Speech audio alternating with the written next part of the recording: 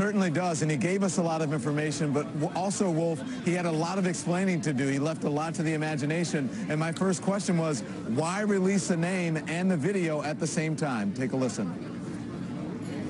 So there, there, have been a lot of questions about uh, the releasing of the video and the releasing of the officer's name at the same time where, where it appears they're not connected, but by doing so, you're connecting them. But can you say beyond a shadow of a doubt that that is Michael Brown in the video that who pushes a clerk and who steals a cigarette, cigarillos? I, I don't think I ever did say that that was anyone. What I said was uh, I was getting questions about questions from the media about a robbery that occurred prior to the shooting, and I wasn't commenting on that robbery.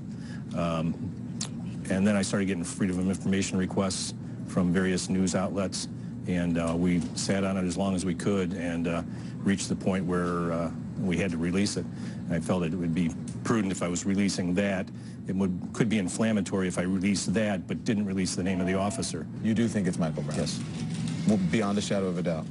Um, I think it's Michael Brown. But you understand the controversy and the outrage because the family members, and not only family members, but people in the community say that you are trying to discredit him, trying to soil his reputation, trying to divert attention to something else besides the actual shooting. Uh, we, are not. We did. We just we tried to sit on this thing as long as we could.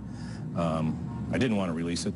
Um, I was told by my city attorney that she was concerned that people were going to start filing lawsuits about it if we didn't uh, didn't release the tape. I'm going to quote what the family says. The family says this tape release was devious and that you're assassinating the character of their son by releasing the video, attempting to smear the character of the victim, and that you're essentially blaming the victim. What do you say to that charge? That's, that's absolutely not true.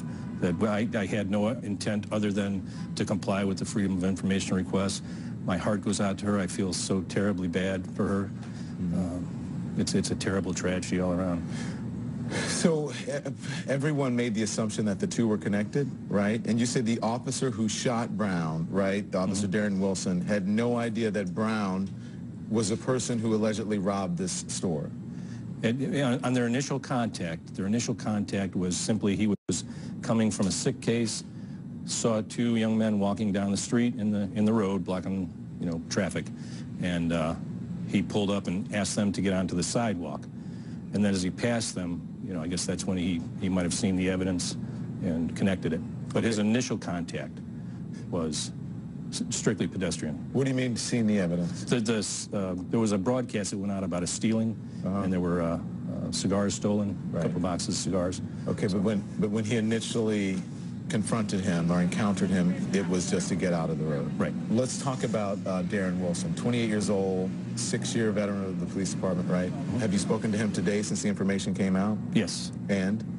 Uh, he, he, was aware that it was going to happen, and as a matter of fact, he, uh, um, he, he was okay with it because it was, uh, was something that would felt may uh, may calm things down if his name was released. Is, is, there some release relief from him that it's released, or is did he not want his name being released? Well, no, he didn't want his name being released, but uh, he was okay with it uh, if it would help. For people who say that you, you know, we, they talked about transparency. The people in the community really wanted transparency. They wanted the officer's name. They wanted to know how many shots, where he was shot. For people who say you waited far too long to do any of that, what do you say to them? I, I right now, it's it's five six days later, and you have everything everything that, that I can can release has been released. Everything you've asked for has been released. Um, there's there's nothing more that I can do. At the at the press conference we watched today, you seemed to get a little flustered. yeah. Was that because you're tired, or you just couldn't find words, or? I was looking for the word inflammatory, and I couldn't find it. I've so been I just there. moved on. yeah, I've been there before. I, yeah. It happened to me on the live shot today. But what has this been like for you? This is this is uh, this is tense. This is really it's heartbreaking. Uh, what's happened to the community and what's happened to the the family that's suffering that loss. Um, this this is just the, the, the worst thing that I've ever seen in my career all you, around. Speaking of your career, do you think you'll keep this job? That's not my decision to make.